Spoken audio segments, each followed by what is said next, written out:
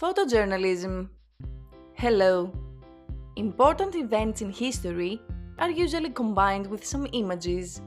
The reason behind that is that someone was there and took photos.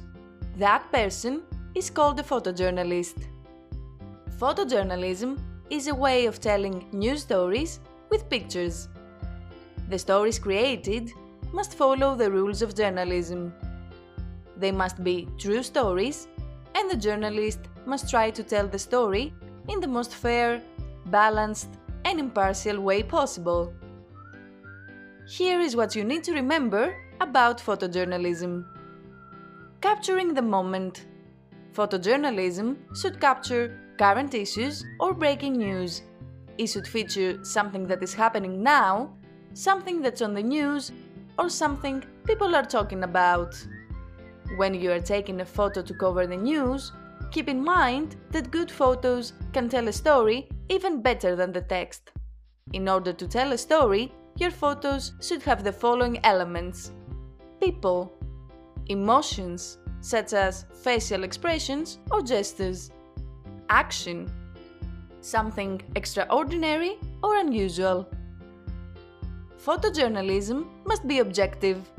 Pictures have to be honest, no matter what a photojournalist believes in. The most important thing is to present the images as they are. After all, photojournalism is journalism. There are different fields of photojournalism. General news, such as press conferences, ceremonies, etc., breaking news, sports photography, and documentary photojournalism, which refers to long term photography projects that follow their subject for a long time. We may practice journalism, but don't forget about the aesthetics. Your photos should focus on the faces of people. Take photos of people in action, of people doing things.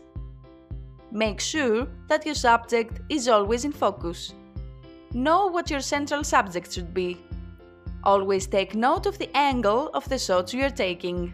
To make sure that you choose the right angle, take a couple of shots in different perspectives.